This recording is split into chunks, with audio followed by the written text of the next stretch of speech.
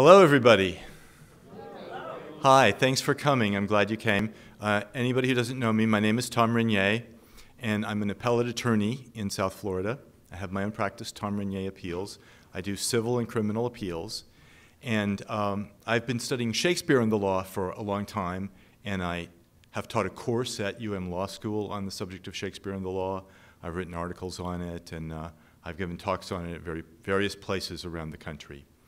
And this is a continuing legal education program uh, that I worked out. I've given it at several venues so far. And uh, I found that Hamlet is the most interesting play for me as, uh, as far as the law is concerned. And when I taught a course on Shakespeare and the law, I spent a couple of classes just on Hamlet and on the legal issues in it. And in this, I'm just going to touch on some of the legal issues that have to do with the law of homicide and the law of suicide. So the subtitle of my talk is The Life of the Mind in Law and Art. And I think that will become clear as we go along. Now, I want to give you a little roadmap of what I'm going to be talking about. I'm going to be pointing out that Hamlet, the play, is informed by an understanding of changes in the law of homicide that were occurring around the time that the play was written. And the law was moving away from just analyzing actions to analyzing the mind as well. And Shakespeare's works also show a greater emphasis on the mind, so there's a parallel there.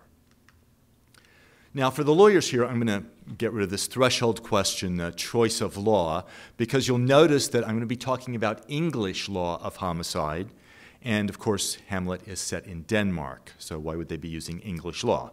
Well, as it happens in Shakespeare's plays, um, English law predominates, even when the play is set in some other country. And that's because Shakespeare understood English law. His audience would understand English law. So you'll, you'll find terms in English law are being used by the characters even when the play is set in some other country. Now, in, uh, the foreign law will be a factor in the play when the play is set in another country. And that's true in Denmark. For example, in Denmark, uh, the Danish king was elected by a council. It wasn't automatic hereditary succession. That's why Hamlet does not automatically become king when his father dies. Uh, so that feature of Danish law does appear in the play. But uh, when we talk about law of homicide, and there's also a lot of property law in Hamlet, which I won't get into today, but when we get into that, um, we'll be talking about English law most of the time. Now, I want to talk about the big change that was occurring in the law from the medieval age to the modern age. And I'm indebted to this article by Thomas Glyn Watkin, Hamlet and the Law of Homicide, which was published in 1984. And by the way, I found out from someone who came to one of my presentations who knew Thomas Glyn Watkin, he told uh, Professor Watkin uh, that I was quoting him and he was delighted to hear that anybody was still talking about this article he'd written over 30 years ago. So that was kind of interesting. Uh, the medieval view is well expressed, I think, by Sir Thomas Bryan, who was an important judge in the late 1400s. And he said, The thought of man shall not be tried, for the devil himself knoweth not the thought of man. So they knew that you couldn't read a person's mind, but uh, so they didn't even try. They just said, okay, we're just going to look at actions. We're not going to look at thought. Now, just to show you how much the law changed about 150 years later, you get this in Sir Edward Coke's Third Institute, and he's talking about murder. And he says, Murder is when a man unlawfully killeth a person with malice forethought, either expressed by the party or implied by law. So when we get to that phrase, malice forethought, well, we're starting to look inside the person's mind. Uh, we're starting to look at what they're feeling, what their intentions are, and, and when they thought something. So that's a big difference. And people were starting to realize that you could infer a person's intent from their actions, even though you still can't actually read a person's mind. So let's look at how this affected the law of homicide. Now, under the medieval rule, the key question about whether killing another person was unlawful was whether the person was the king's lawful subject. So you would look at the victim's legal status. And king, uh, king's lawful subject was a key phrase that was used in the legal analysis. So if the person was not the king's lawful subject, it was all right to kill them. For example, a highway robber, uh, somebody who breaks into your house at night, uh, an escaping prisoner. These people had forfeited the protection of the king's law by their actions, and therefore, if you had to kill this person, that was fine. Now, what if the person was the king's lawful subject? Well, if you killed the person, that was a crime. Trouble with this is it would come to some results that I think we would find rather anomalous today. For example, uh, an accident. Let's say you're cutting down a tree in the forest, and the, as the tree's falling, someone walks by and the tree hits them and kills them. Well, of course, you didn't mean to kill the person, but hey, it's your actions that count. So whether you meant to or not, uh, it didn't matter. Saying I didn't mean to was not an excuse. So uh, that was uh, still a murder under the law. And also, for a long time, self defense was not a defense to murder. Now, usually, if the jury found that you acted in self defense, you could ask the king for a pardon and you would usually get it. But it was not an automatic defense to murder. So the modern rule, we're not looking at the victim's legal status anymore, we're looking at the state of mind of the defendant, the person who actually did the killing. And so murder would be killing with malice forethought. Or you might call it cold blooded murder. Now, just as an aside, that, that phrase cold blooded uh, was coined by Shakespeare. Shakespeare was the first person to take the word cold and put it together with the word blood and come up with the phrase cold blooded. And actually, in, in the case where he first used it, it didn't really have anything to do with murder, but it's become associated with that. So, really, it's a premeditated murder, a premeditated killing for it to be murder. And premeditated, also another word coined by Shakespeare. Now, under the law, there were a couple of situations where premeditation was presumed. And one of these was if you stabbed an unarmed person or a person who had not yet drawn his sword. So that was considered presumptively premeditated, and that was an irrebuttable presumption. You couldn't argue against it. It was automatically murder if you uh, stabbed a per- you killed a person who uh, did not have a sword. And also willful killing by poisoning was presumptively premeditated. okay, now the following things, under the new rule, under the modern rule, these things were not murder. An accident is not murder under the modern rule because you didn't have the intent. There's no malice aforethought. If it was an accident, you didn't mean to do it. So that did become an excuse. And self defense eventually became a complete defense to murder.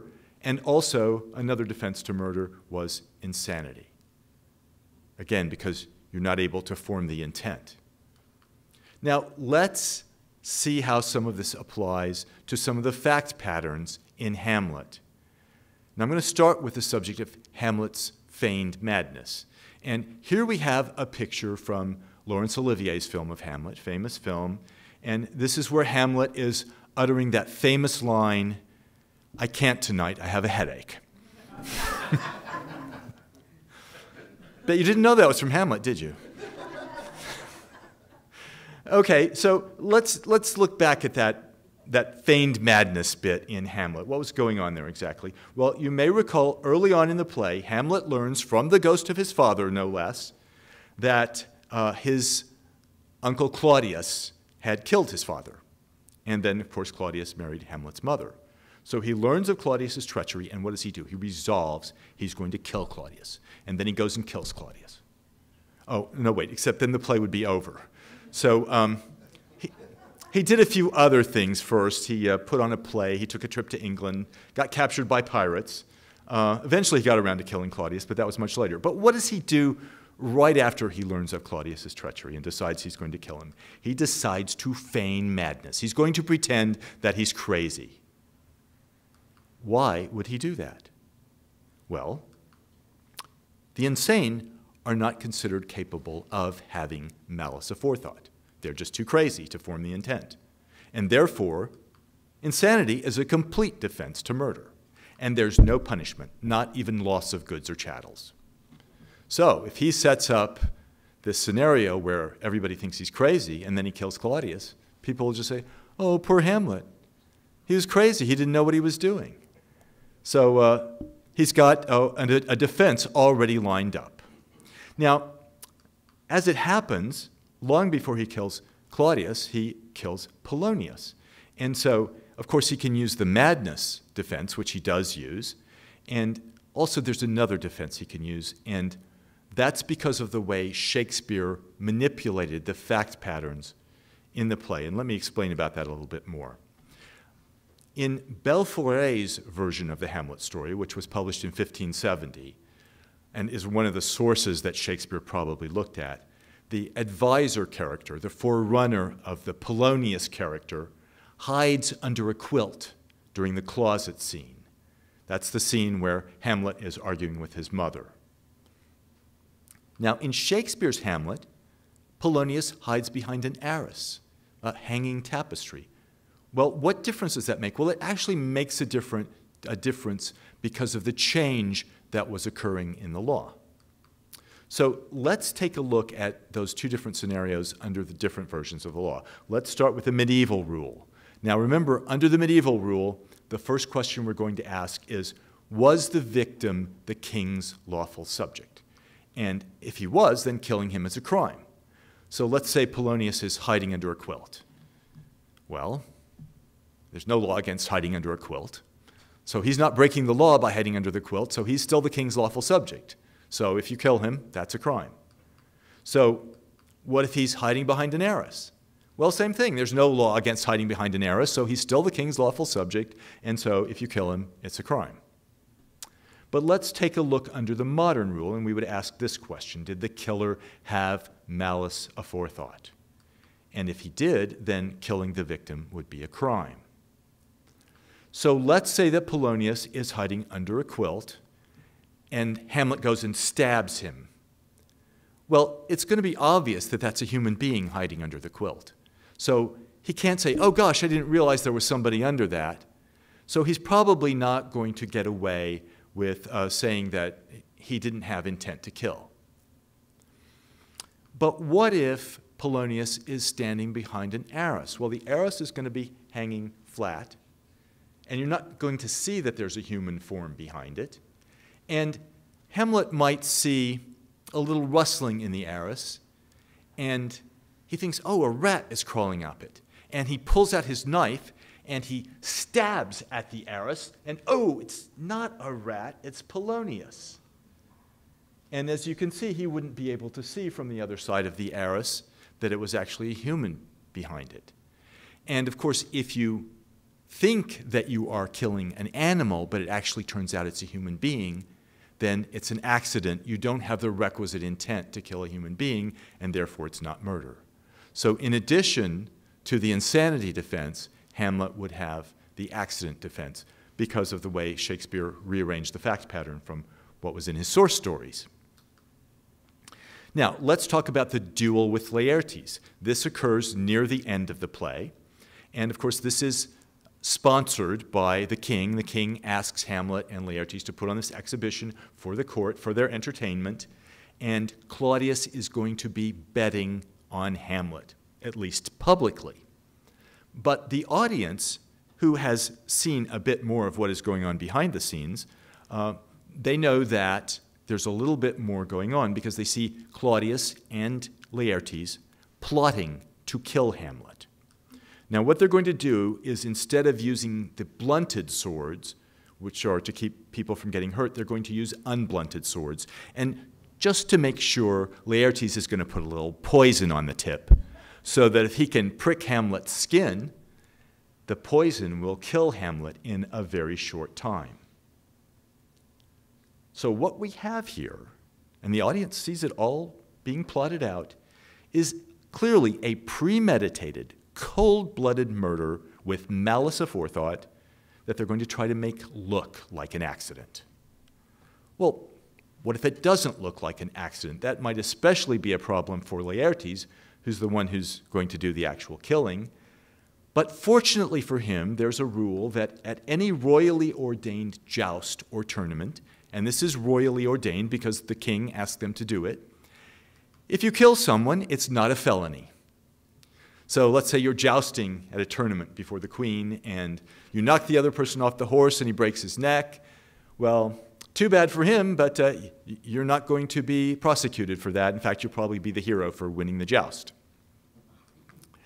Now, Edward Coke, in his Fourth Institute, talks about the many ways that poison can be a feature in murder. And he talks about four types of poisoning poisoning by touching, by taste, by a suppository, or the like. That's my favorite. or by breathing. Breathing would be like a poisonous perfume or something like that. And um, Thomas Glyn Watkin, in his article, points out that Shakespeare manages to get three of the four kinds of poisoning into the plot of Hamlet. First of all, there's touching with the poisoned swords that I talked about a few minutes ago. Then there's taste, and that would be the poisoned wine. Now, you'll recall Claudius sets up a chalice of poisoned wine so that he can have Hamlet drink that if the poisoned swords don't work. He's always got a backup plan. And so, unfortunately, what happens is that Gertrude drinks the poisoned wine and she dies from it. And the suppository or the like. Well, uh, now you're probably racking your brains to recall the suppository uh, in the plot of Hamlet. Uh, actually, it's more the like, and it's something that happens before the action of the play starts, and it's when Claudius pours poison into his brother's ear, into King Hamlet's ear. That's Hamlet's father, and that's how he, he kills his brother, and he's able to take the crown and also marry the queen after that. So it's basically uh, when you can pour poison in some orifice where it will get into the bloodstream eventually. Now, um, next thing I want to talk about is the killing of Claudius, which does finally happen near the end of the play. And of course, Hamlet had resolved early on in the play that he was going to kill Claudius, but he kept putting it off and putting it off and putting it off. And also, I just want to comment on this particular photo that you see here. This is uh, David Tennant as Hamlet and Patrick Stewart as Claudius. And if you do a Google search in Google Images for uh, Hamlet killing Claudius, you will get a lot of pictures like this, which, if you're familiar with the play, you will realize is not actually a picture of Hamlet killing Claudius. It's a picture of Hamlet not killing Claudius, because this is the scene where Hamlet comes upon Claudius when Claudius is praying, and he thinks, All right, now's my chance. Now I can avenge my father's death. And then he stops and he thinks, Wait a minute. If I kill him while he's praying, he'll go to heaven. And that would not be a very good revenge for his having sent my father to purgatory. So I'll just wait until a more appropriate moment when I can kill him and send him off to hell. So he delays the killing at that particular point. Now, let's talk a little bit about the killing of Claudius. And I'm going to ask you at some point whether you think this was a murder or a manslaughter. And remember, a murder analysis is based on whether the killer had malice aforethought. He had to have malice ahead of time. And so, killing Claudius, is this a premeditated act, an act of murder, or is it an act of sudden passion, an act of manslaughter? And I'm going to go through the facts of it a bit, and then I'll, I'll ask for a show of hands what you think about that. Now, remember that during the duel scene, Hamlet sees his mother die of poison he learns that he is about to die from a poisoned sword, and he learns that Claudius is responsible for the deaths of his mother, himself, and also Laertes, who, in the spirit of hoist by his own petard, which is also a line from Hamlet, uh, Laertes has been pricked by the poisonous sword, and he's going to die from it too. And he's the one who explains to Hamlet that Claudius is behind all of this. Now, as we said earlier, Hamlet decided very early on that he was going to kill Claudius, but there's no indication in the play that he had pre planned to do it at the end of the duel scene. In fact, he says at one point, the readiness is all. In other words, he'll know when the right time comes. Well, the right time seems to have come because he's only got a few minutes left to live. So if he's going to do it, he'd better do it now. Uh, so what does he do? Well, he stabs Claudius with his sword and then he forces Claudius to drink the poisoned wine. That way, Claudius will not be saying any prayers that might get him into heaven. So, murder or manslaughter? I'm going to ask for a show of hands. How many of you think that it's murder? Okay. How many of you think that it's manslaughter? Okay. It's fairly evenly divided, and it usually is when I ask this question. And uh, I certainly think that you could make a, a good argument that it's manslaughter.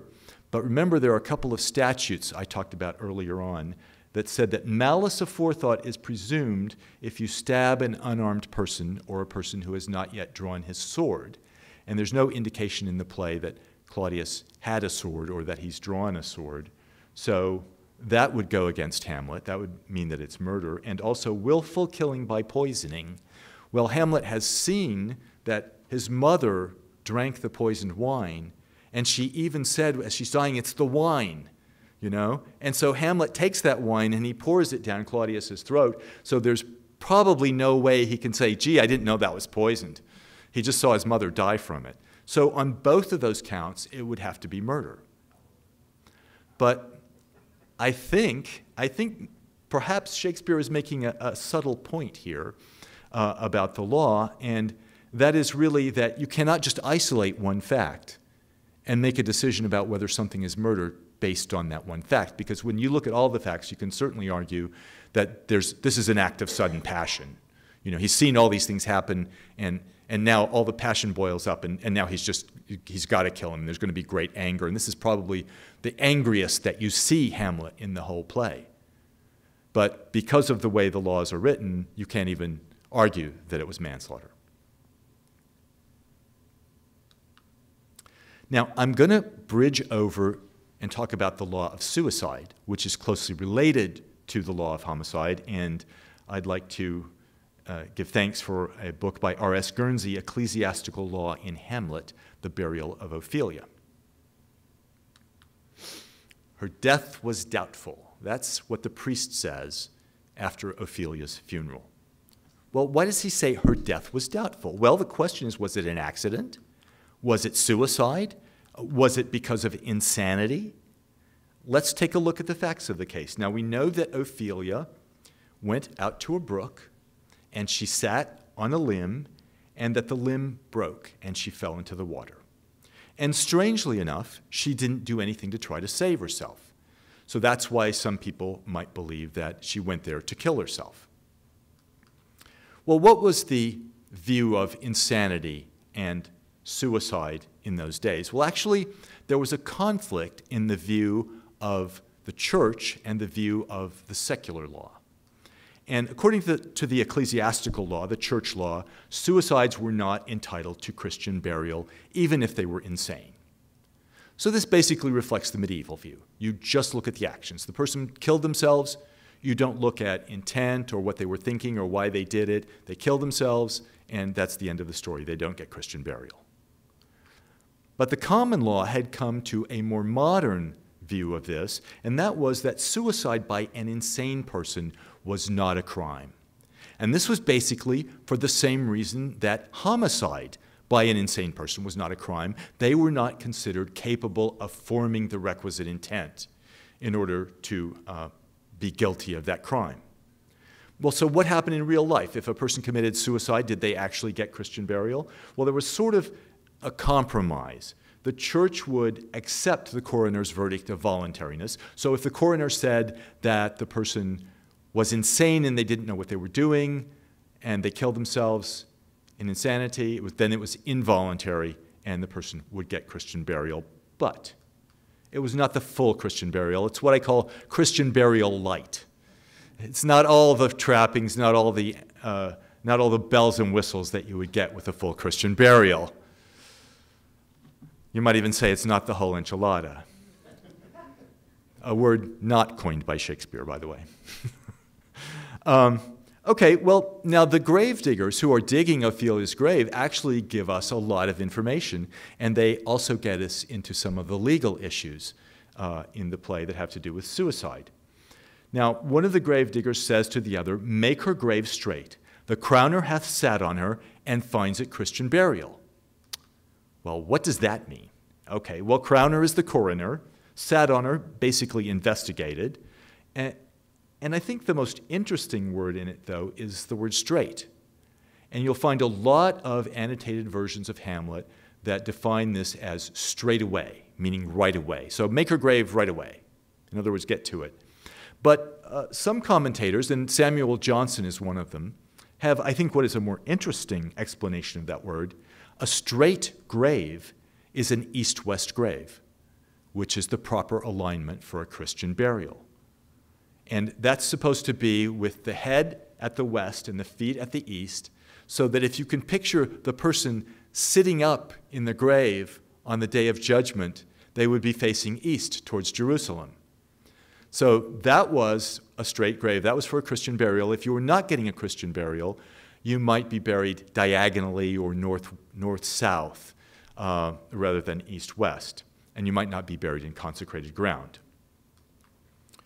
Well, now the other grave digger can't understand why this is Christian burial. He says, How can that be unless she drowned herself in her own defense?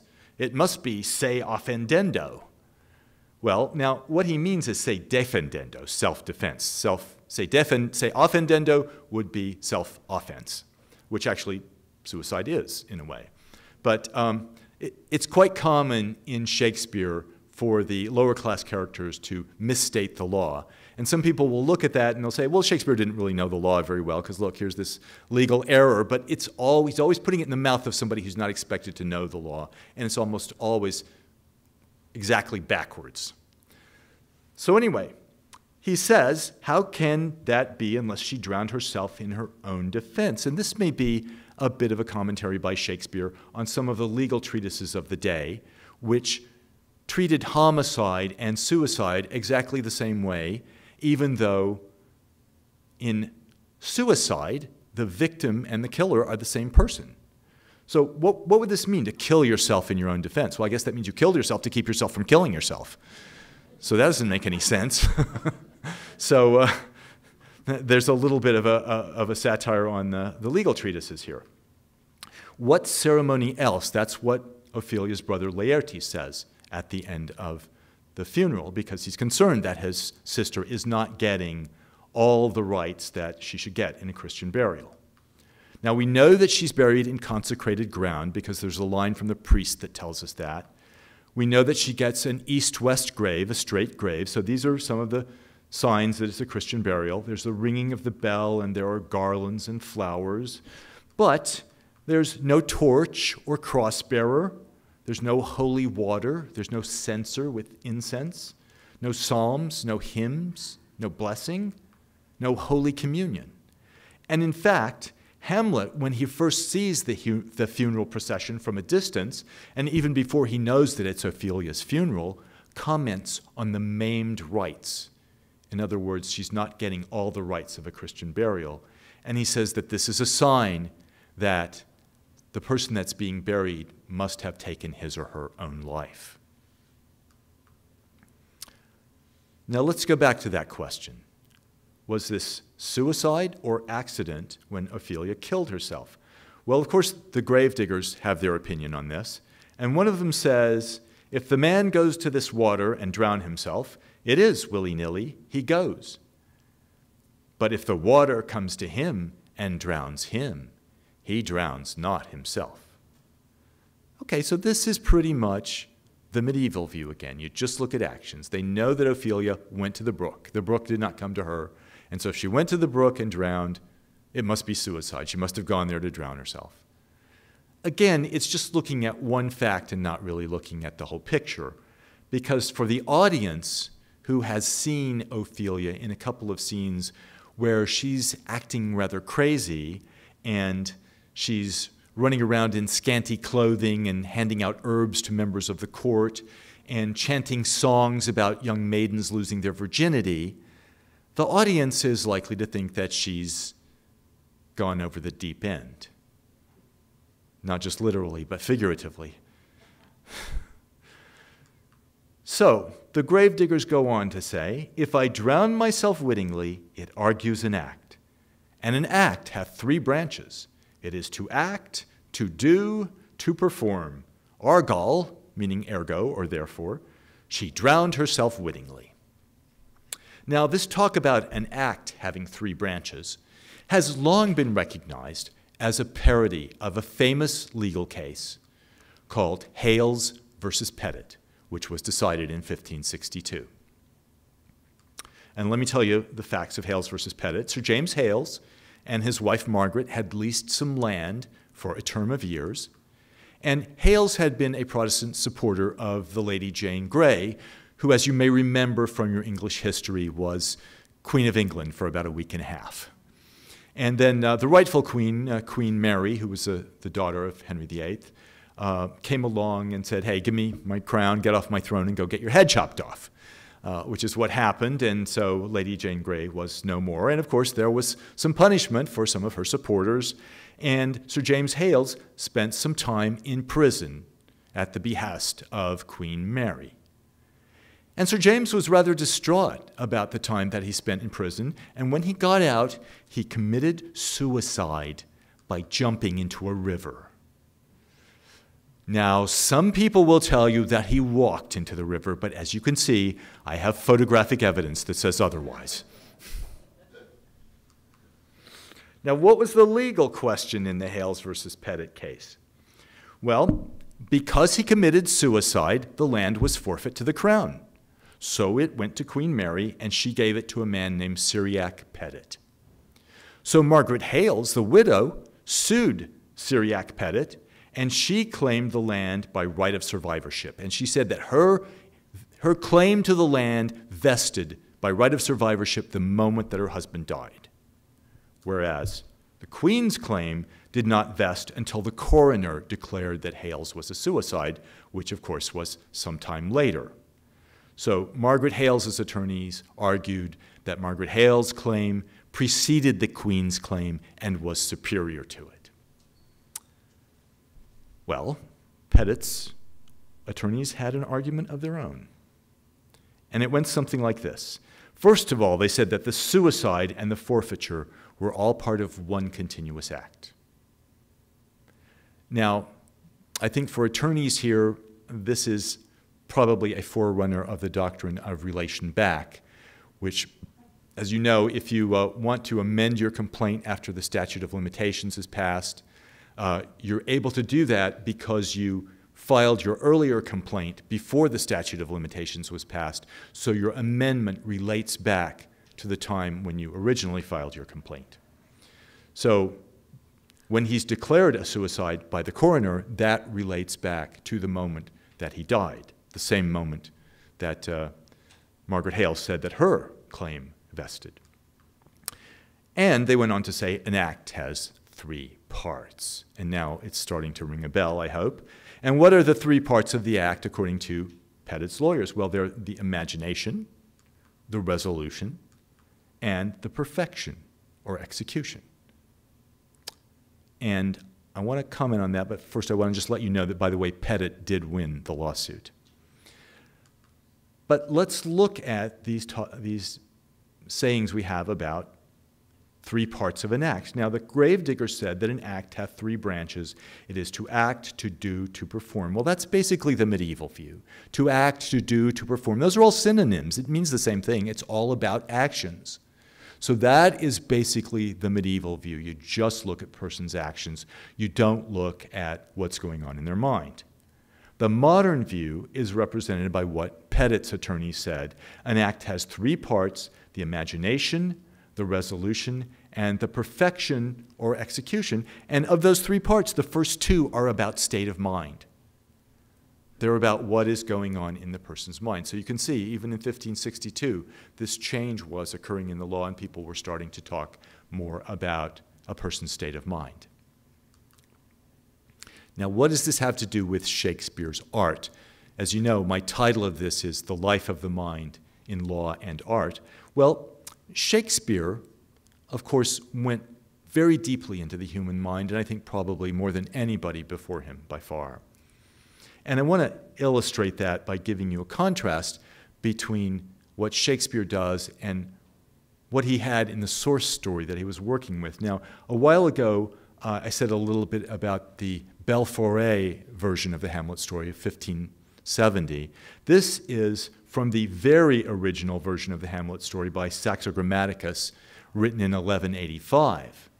And I'm going to read a little of this to you, and there are two characters I want to highlight. There's Horwendil, who is the forerunner of King Hamlet in the Hamlet play, and uh, Feng, who is his brother, who eventually becomes Claudius in Shakespeare's Hamlet. And so Saxo Grammaticus says, Horwendil's good fortune stung his brother Feng with jealousy, so that the latter resolved treacherously to waylay his brother. Then he took the wife of the brother he had butchered, capping unnatural murder with incest. Well, so let's look at what we know about what's going on in Feng's mind. We know that he was stung with jealousy. And that's it. That's all we know. That's as far as it goes, as far as a psychological examination of Feng. And I can tell you this for a fact because if you read the whole story, and it's only about 17 pages long, you will not find anything else about Feng, about what was going on in his mind. You can just assume that he's a bad guy because he killed his brother and, and doesn't even say married uh, his brother's wife. He took her. Uh, so, sounds like a real nice guy. Uh, so, anyway, so that's what we know about Feng in the source story. But what does Shakespeare do with this character? Well, of course, he changes his name to Claudius, but he also gives him a soliloquy. Now, Hamlet, the play, is famous for its soliloquies, and a soliloquy is a great tool for getting into a person's mind. And of course, Hamlet has most of the famous soliloquies in the play, but let's take a look at Claudius's soliloquy. He says, Oh, my offense is rank. It smells to heaven. It hath the primal eldest curse upon it, a brother's murder. Pray, can I not? Though inclination be as sharp as will, my stronger guilt defeats my strong intent. Now, this is much more interesting, much deeper, much more nuanced than Feng was stung with jealousy because we see that Claudius has a conscience. And he knows that what he did was wrong. And you can see him wrestling with his conscience. And it's fascinating. You don't know exactly what he's going to do. And this is the kind of thing that sets Shakespeare apart from his predecessors, and I think even from people that followed him. Uh, Harold Bloom said that Shakespeare invented the human being. And I think that's kind of an exaggeration, but I think what he's getting at is that Shakespeare made it fashionable to dig deeply into the human mind because he did it in a way that nobody had ever done it before. And that's what makes his plays so interesting. That's why we continue to read them and continue to love to see them performed to this day. Thank you. Thanks very much.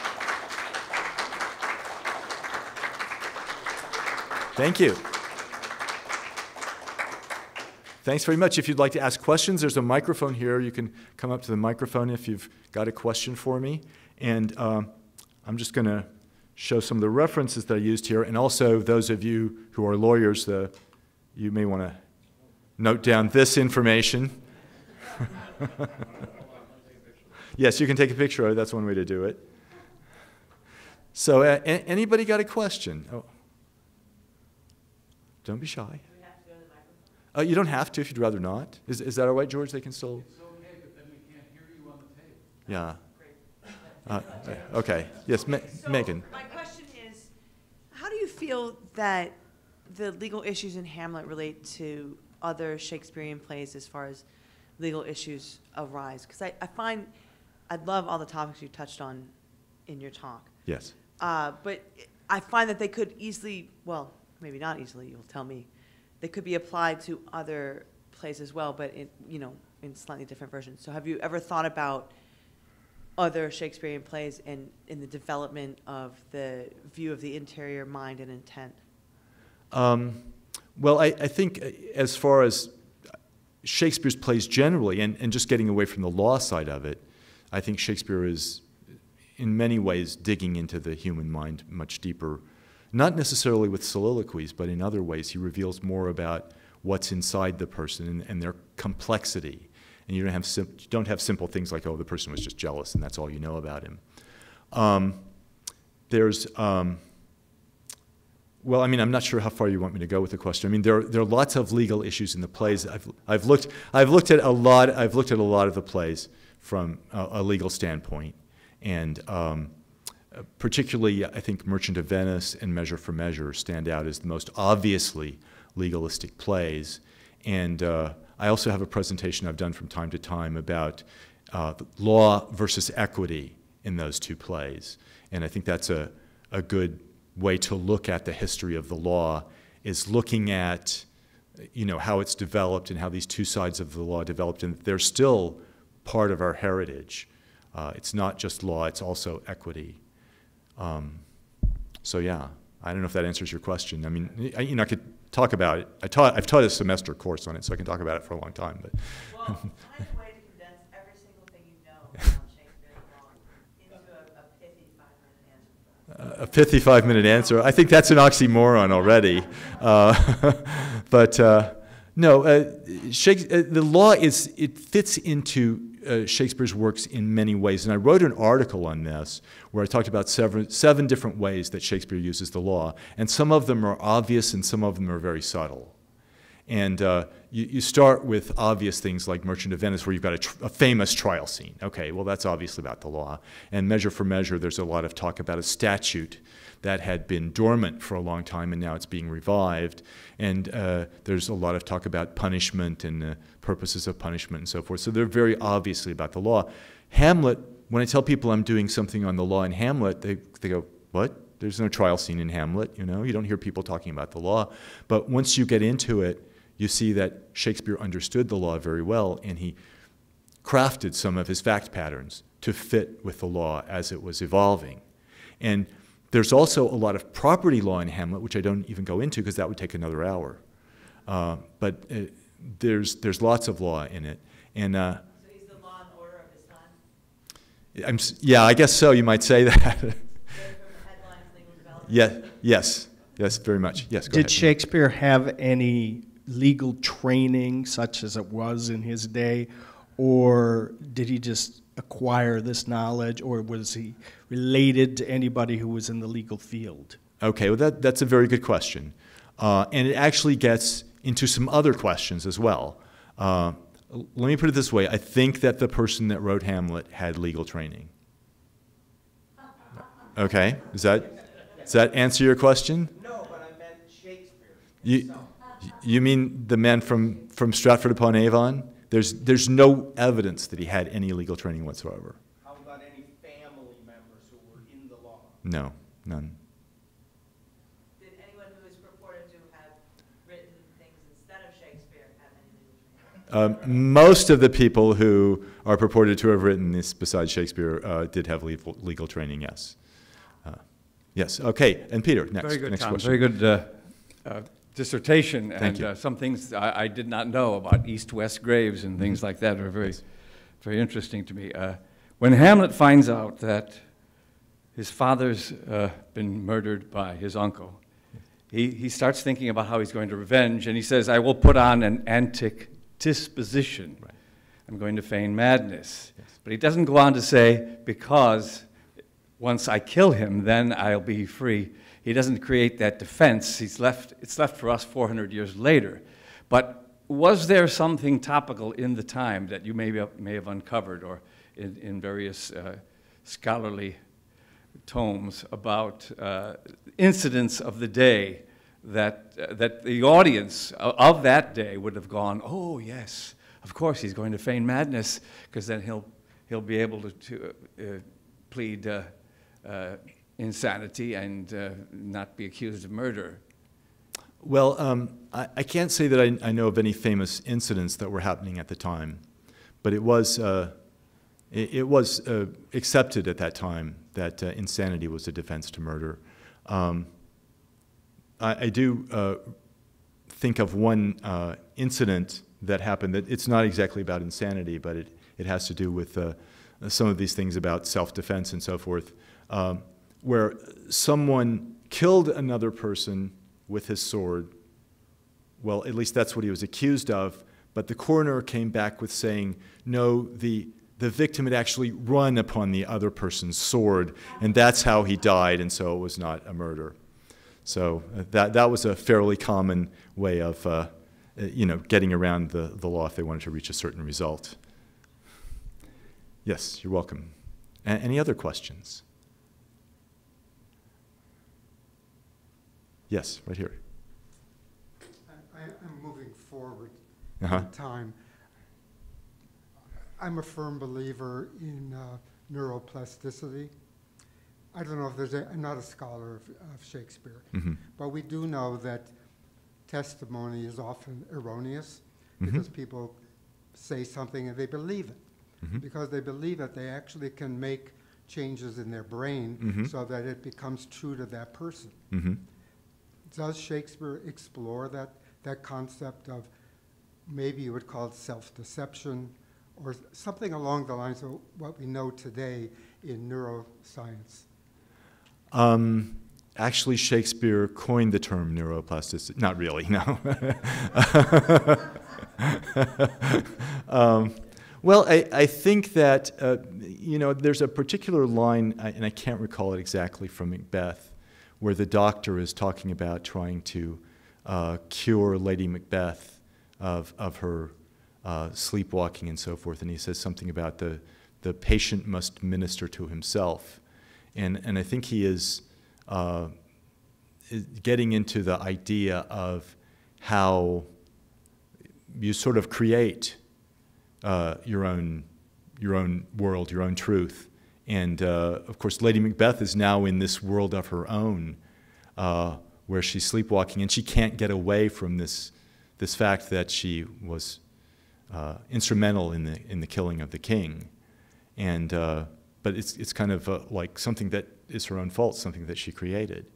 Um, and I'm not sure that I you know understand neuroplasticity from what you said well enough that I can can comment on uh, on Shakespeare's plays to a great degree, but uh, it, it is a common theme in Shakespeare's plays that things are not what they seem, and that, that people are putting on masks, they're putting on disguises, they're pretending to be something that they're not. You have, you know, lots of scenes where you have uh, women dressing up as men and things like that, and people changing their identity in various ways. So I, I think that. the concept feigning madness Mhm.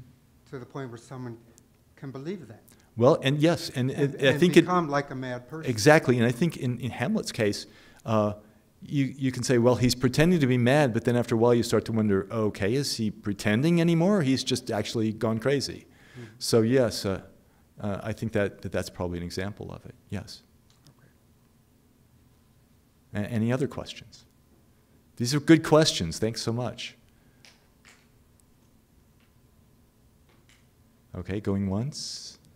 When did Hamlet live from to? Hamlet, the actual historical character? I mean, not Hamlet, uh, Uh, Shakespeare, uh, 1564 to 1616. Playing on that theme of what you said as far as Shakespeare focusing on things are not what they appear to be on the surface, do you find that he explores that theme more in his tragedies or his comedies? Well, I, I think he does it in both. Both quite a lot. I mean, well, I mean, you know, I mean, it, it's sort of, yeah, I mean, it's, uh, it's sort of hard to do an instant overview of the plays, you know, like, but uh, in, in Hamlet, for example, I mean, the, Hamlet has this line about Claudius, oh, that a man may smile and smile and be a villain. Uh, so there's that, that role playing there, that uh, situation where he is, uh, you know, pretending to be something that he's not really, and, and is, is really a villain underneath. But uh, it happens in the, in the comedies as well. Uh, you have, uh, for example, in uh, Much Ado About Nothing, you have hero pretending to be dead, uh, you know, and uh, that's, and then you have it in Romeo and Juliet, you have feigned death, and of course it has tragic consequences in that case. In, in Much Ado, it has a happy ending. So, uh, Yeah. maybe, uh, as you like it, or as you like it, um. Well, you have Rosalind pretending to be a boy, and she's, of course, wooing the man that she loves. She's having the man that she loves pretend to woo her. And so she's actually a girl pretending to be a boy, pretending to be a girl. So it's the first Victor Victoria. Yeah. It's, it really is. Well, and if you think, it- and if you think about it, if you think about it too, in those days, the women were played by boys. So the boy who is playing Rosalind, you've got a boy playing a girl, pretending to be a boy who's pretending to be a girl. That's some deep character. Yes.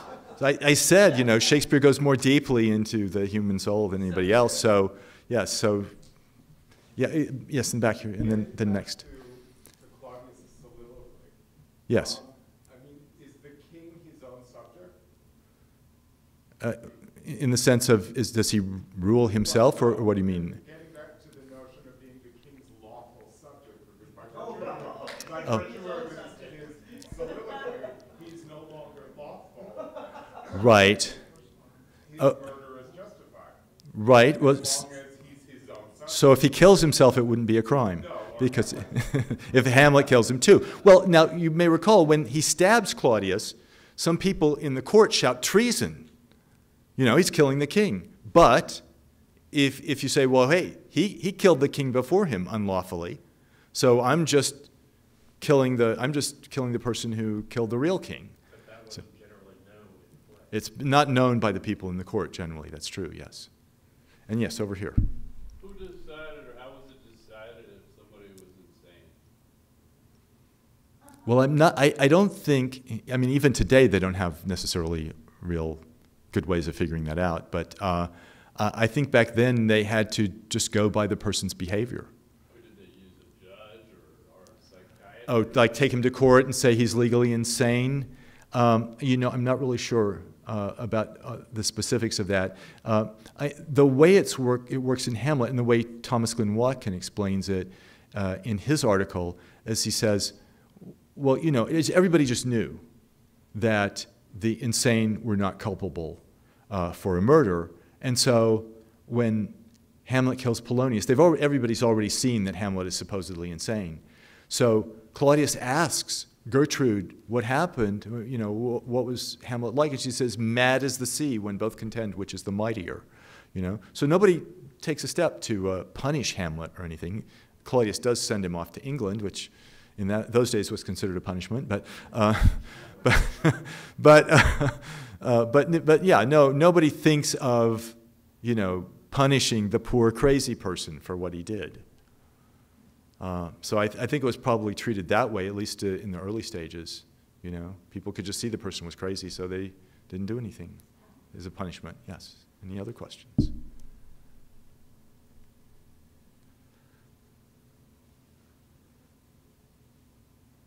Uh, Peter, yes. Another question. Of course, the, the, the, the big, the big question uh, about Hamlet is why doesn't he do it? Why he doesn't can't make up his mind. That seems to be the great psychological uh, construct that has made this play so great. Yes. Um, is so. The the question I'd like to ask is, does that somehow um, tie into the theme of, of murder and homicide and and uh, uh, that's not a, it's not a defense, but um, could it be could it be some kind of a, a defense that uh, um I had a conscience about it, E- even though it, it was it's it's a revenge it's a, an, it's an act of revenge, uh, and it it is we've been arguing lawful to kill the man who's been a criminal. So he's taking justice into his own hands. I don't know if the Danish court would allow that. But it, would it be a defense to say that uh, um, uh, I wasn't sure if, if I had an I was. I was reluctant to kill him, I but, but I had to do it anyway. Um, I, I don't think that's going to stand up in court too well. Uh, because basically, uh, you know, the premeditated means you thought about it ahead of time and you were in a calm state. Uh, sedato animo is one of the phrases they use. Uh, and what? Sedato animo. Um, so, um, yeah, so I mean, the thing is, it's more of a defense if you did it suddenly as an act of passion. That's why I talked about manslaughter versus murder. But it's, you know, when you've had time to think about it and you could have said, oh, you know what, I'll, maybe that's not such a good idea, but I'll do it anyway. Even though I know it's wrong, I'll go ahead. But where it's a, a sudden provocation, and of course, the, in, in legal stories, the classic is you come home and find your wife in bed with another man and you kill them both or kill one of them or whatever. Uh, that's, that's sudden provocation. You're suddenly so angry you just can't resist. So if you've had a time to think about it, that seems to be less of a defense to murder uh, than if you didn't have time to think about it. And that's why I said, you know, it is arguable that when he does actually kill, Ham, uh, kill Claudius, that it's sudden provocation. You know, he, he finds out Claudius has done even more dirty stuff, and now it's you know he's he's got to kill him at this point, and he's he should be really angry at that point in the play, probably the angriest that he is in the whole play. He's gone through an incredible journey. He's planned it.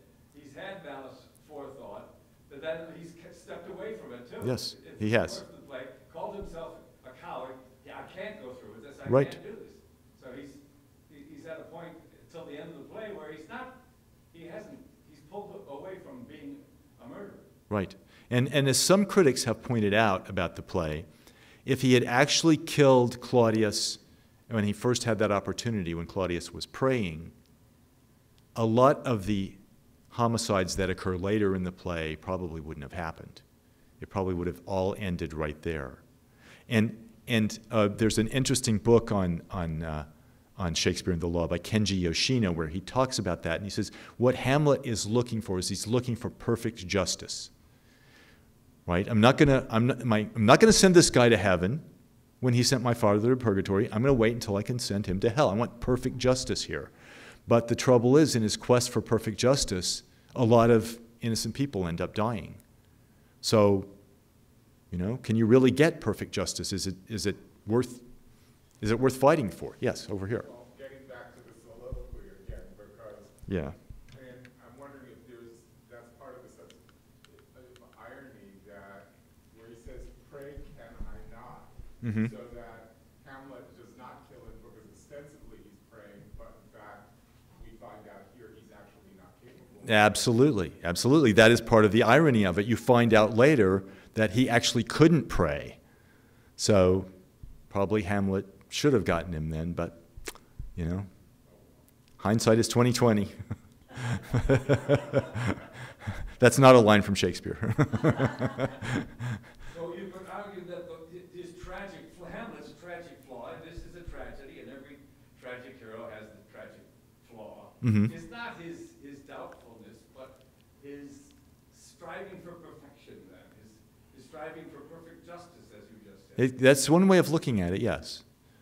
Yes, and I thought uh, Kenji Yoshino made a, a very good point in, in his chapter on Hamlet there. Yes, next, over here. But, uh, I would ask you to think about, if someone can look at another person and make some decision about that person's afterlife, is he gonna go to purgatory or heaven or hell, whatever? Does that not apply to himself as well? Yes, it would. So if he's, the fact that he pauses at some point and doesn't follow through with his thought of revenge, what's the difference? Is- There's some, he might be going through his own vacillations on his own things. Okay, so are you saying that, that perhaps, like if he kills somebody knowing that it's going to send somebody to hell? If his intent was to get revenge, the fact that he didn't do it uh, at the count of three, and it took him three more, what's the difference? Mm-hmm. Well, it, does it make a difference, though? Does it make a difference for Hamlet's own salvation Oh, that he's pur- that he's yes that he's purposely killing somebody at a time when he can send him to hell? So, yeah, Well, and then self-reflection. yes, If he has that capability to think about someone else's, that he, had- you could, one could infer from that, that he has that perception about himself. Mhm. good. Okay, hey, these are good questions. This is a very smart class. I- really, thank thank you. Any any other I'm questions? sure what the, the beliefs are about heaven and hell during the, the, this time. Mhm. If you murdered someone, would, that would meant, would mean your soul was going to hell, or, whereas if you ma- did manslaughter, your soul was in purgatory, or, uh, I'm not sure about it. Hmm. I, I'm yeah. I'm not a theologian either. So I'm so yeah. I'm not really sure either exactly. But yeah, and also if you say at, at that time, are we talking about the time that the actual historical Hamlet lived, or whatever time this is set in, which is you know Shakespeare kind of creates his own world. Uh, Yeah, exactly. Like English law in, in Denmark, you know, he kind of creates his own world. And, and the, I think the fact that, uh, well, where did Hamlet go to? Where was he going to college? Where, where, starts with a W? Wittenberg. Wittenberg. And what's that famous for historically? The Protestant, yes, Luther, the Protestant Revolution. So, um, yeah, so, and I think there's got to be a comment there uh, about all that because that was very much in people's minds the difference between Protestantism and Catholicism, and that, that was something that people had wars over in those days. So, you know, I think that, uh, that probably plays into the play quite a bit.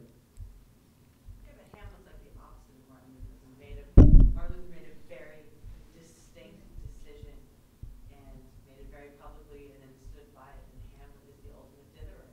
So hmm Right. So it's any decision he happens to come to just feeds into basically his mood in that moment. Right. Obviously, he didn't soak up the lessons at Wittenberg very well, did he? No. yeah. No. Well, it, it may be it, that may be intentional. The contrast there. You know. I, I mean, there's so many things that the author, so many elements that he puts into the play, and there's so much knowledge behind so many things. They're they're always very heavily freighted with meaning. So you can argue about the meanings and over and over and and endlessly. Yes, Peter. What, what do you think then is the tragedy of Hamlet? What what is the ultimate tragedy of the, this prince who finally ends up murdering and dead and, uh, and doomed? Well, I, I think you just pretty much said it right there. he ends up dead and doomed, and uh, well, no, I, I, I think um, it's part of what I said about he's trying so hard to be perfect that he actually causes more damage than he might have have caused if he'd not been so concerned about that. You know, if he'd just gotten, if he'd just killed Claudius when he had the first chance, when he was at prayer, then look at all the people that died after that. Many of them, maybe most of them, or all of them, might not have died. Well, he was also curious, though. He went, he had to go see the ghost, right? And then the ghost, all this information from his father. Right. And then he's set on this path, and he just, Right. Well, and of course, starts off as this aristocratic, brilliant mind who becomes corrupted by his own curiosity, I guess. yes. Well, uh, the thing is, he says the ghost, the spirit that I've seen may be the devil, and the devil hath power to assume a, a pleasing shape, and, and you know perhaps tempts me to damn me. So it, it maybe the ghost is really the devil, and it's not really the ghost of his father. So that's why he wants to find out if what the ghost said is true, and that's why he stages the mousetrap play. Because when he sees Claudius's reaction, when they do something that's very similar to what he did when he killed his brother, and you know Claudius gets up and stops the play and storms out of the room. He says, "Oh, now I know. Now I know the ghost is right." So that that's a whole long process, and that's about halfway through the play where you have the mousetrap, and uh, then a lot of things happen after that. Claudius immediately sends him off to England, and uh, there's a whole series of things that happens. He gets captured by pirates and stuff like that. So. Um, yeah, he, he never, he doesn't get the chance uh, for a long time to come back and, and finish off what he started. He doesn't have a chance to act on his knowledge that Claudius uh, killed his father, which he's finally sure about after the, the play.